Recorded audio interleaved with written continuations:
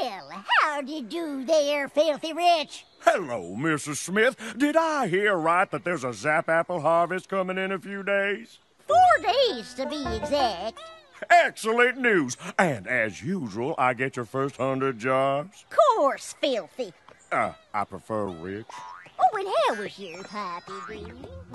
Oh, you poor, poor thing to make all that Zap Apple jam with Granny Smith?